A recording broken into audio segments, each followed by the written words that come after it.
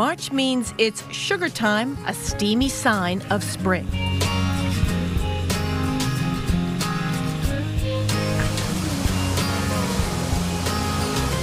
At Stuart and John's Sugar House restaurant in Westmoreland, it's all about the maple syrup.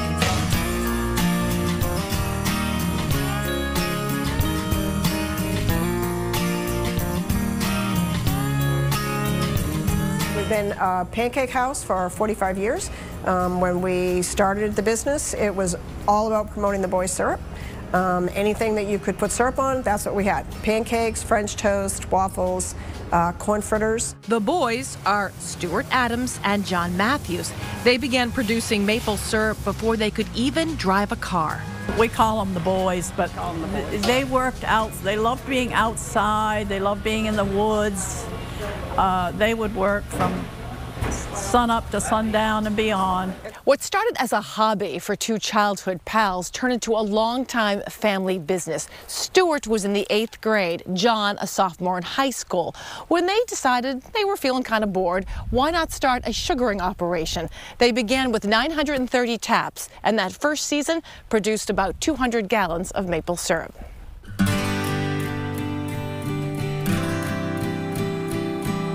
We were helping some neighbors out we were still in grade school and we kind of figured we if we did it on our own it might be a little more profitable for us than just helping the neighbors. Did you think you'd still be doing it all these years later? No, not really, but we, we've hung in there.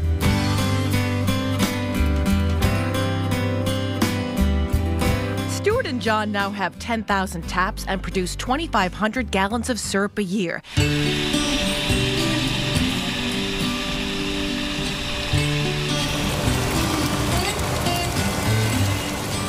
Is in charge of the boiling and filtering process. So it's a little heavy right now, so we're gonna just thin it down just a little bit.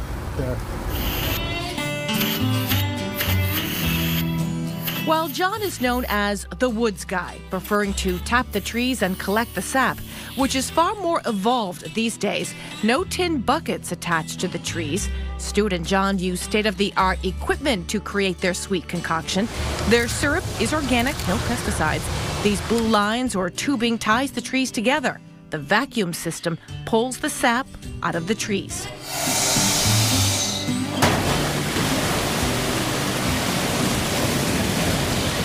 And into these large stainless steel storage tanks. All these trees here, there's like four or 500 taps coming right to here that are all on vacuum.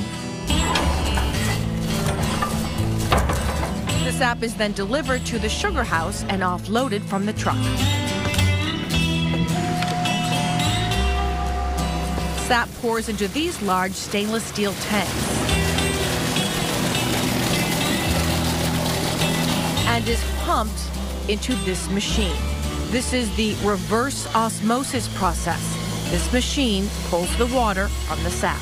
So one thing about reverse osmosis, this is pure distilled water coming out, which you can see how much cleaner it is. And the concentrated sap, all the bacteria, all the minerals that were in the sap stay with the sap.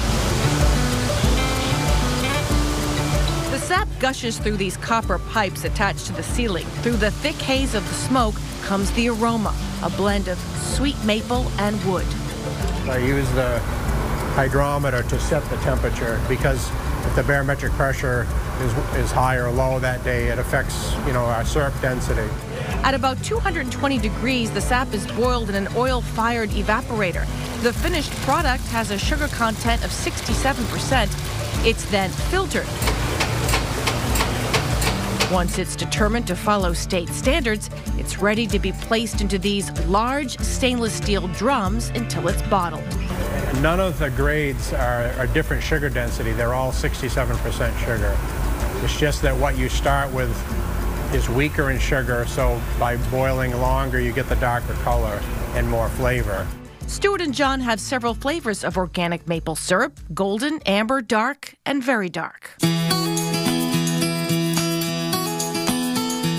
Stuart's parents, who own nearby Windyhurst Farm, opened the restaurant in 1975.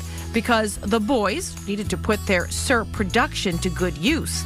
What better way than to open a pancake and waffle house? I was the cook. I cooked and ran this place for probably 15 years, at least 15 years. It's all about family here. Stuart's wife, Robin, now runs the restaurant. Relatives and close friends cook and wait tables. Cook Sue Ferenz was hired two days after she moved here from New York. 22 years later, I'm still here, and my children have grown up. One worked on the farm, she milked cows, and another one worked here, and then my littlest, she was five, and she is still here doing, she's one of the main waitresses. The restaurant now offers seafood and ice cream during the summer, and every Thursday is known as Cruise Night. People come, they see the antique cars, they go down to the baby barn and see all the baby animals. We have a big play area for kids. It's great for families, doesn't cost them anything.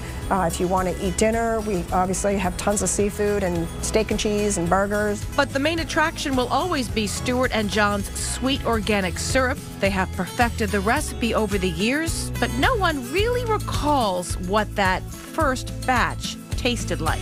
Oh, goodness.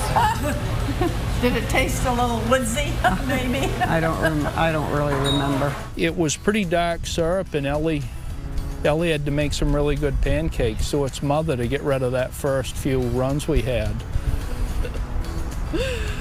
But they didn't hold it against us. Now people come from throughout the region to see how maple syrup is made, pick up a pint or two, and sit down to a hearty breakfast, all made possible by the boys and their enterprising spirit.